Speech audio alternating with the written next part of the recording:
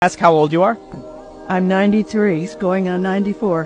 Wow, I thought you were like much younger, like 70s or 60s. So Come on. how does it feel to be that age? well, my feet hurt.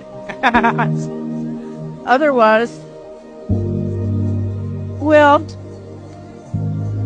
I know that I don't have that much longer in the world, and I don't feel sad about it because my feet hurt and other things hurt, and it, uh, my physical condition is just going to get worse. But otherwise, I have a good life and I enjoy it. Are you happy? Yes, I am happy. Why?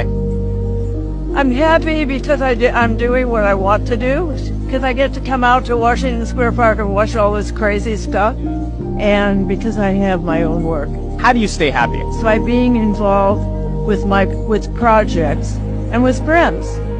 So for someone who wants to be happy, what advice would you give them?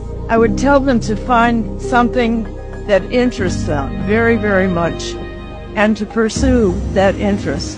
And I would tell them reach out to other people, but to be happy in their own company.